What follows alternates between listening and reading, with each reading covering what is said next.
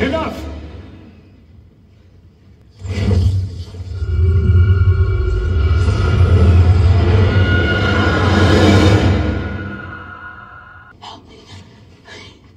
Wanda Maximov, your mind is being held hostage by your alternate self.